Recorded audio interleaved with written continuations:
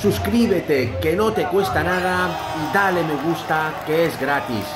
Antes de empezar, no te olvides de darle me gusta, pulsar el dedito de arriba, que no te va a costar nada, es totalmente gratis para que este vídeo llegue a más culés como tú.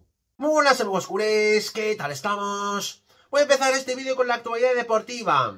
La perla brasileña Messinio que sonaba para el Barça acaba de cerrar su fichaje de manera oficial por el Chelsea inglés por una cifra que ronda los 68 millones de euros más variables. Primero el Barça ha hecho bien en no gastar dinero en ese jugador, sobre todo teniendo a la Yamal, al futuro mejor jugador del mundo, jugando en esa posición. Y segundo, el Chelsea sigue pasando por el forro la milonga del fair play que nos está imponiendo aquí el señor Tebas. Pero vamos con la actualidad de nuestro Barcelona. Muy mal ambiente en el equipo. Un periodista del Barça ha confirmado ayer una brutal pelea entre Rafinha y Oscar Hernández, el hermano de Xavi.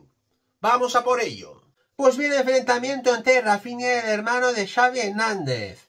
Según un periodista del Barça, el brasileño insultó al segundo entrenador cuando fue reemplazado contra el Valencia, en plena crisis abierta en el Fútbol Club Barcelona por la intención de dar la puerta de destituir a Xavi Hernández a final de temporada.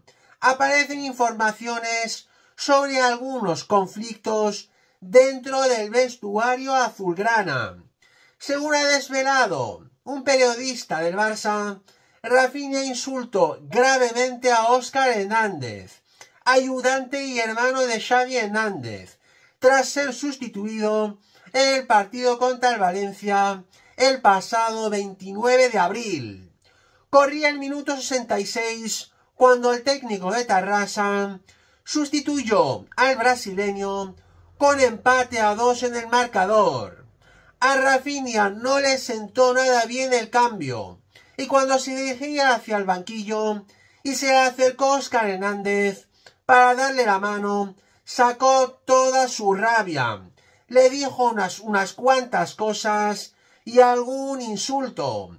Desde el cuerpo técnico reaccionaron, siempre según este periodista, dejándole bien claro a Rafinha que no iba a jugar en el próximo partido ante el Girona. Posteriormente en el vestuario y con el Barça habiendo logrado la victoria por cuatro goles a dos, los ánimos se fueron calmando. El calentón del brasileño había desaparecido. Eso sí, el cuerpo técnico cumplió con su palabra y Rafinha, uno de los jugadores más en forma del equipo en esta final de temporada, se quedó en el banquillo en Montilivi no entrando al campo hasta el minuto 70. El enfado de Rafinha se une al de otros futbolistas, como el de Vito Roque, que apenas ha contado para Xavi. Robert Lewandowski, que ha sido sustituido en cuatro de los últimos cinco partidos en plena lucha por el Pichichi. Ronald Araujo, que se ha quedado fuera del equipo en los últimos partidos con molestias, pero que tuvo un encuentro con el entrenador, o Joao Félix, habitual en el banquillo en este año 2024.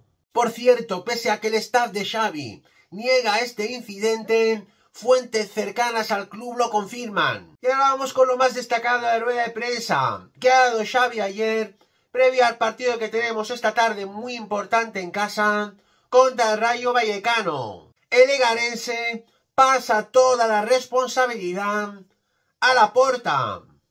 Vamos a por ello. Ramon.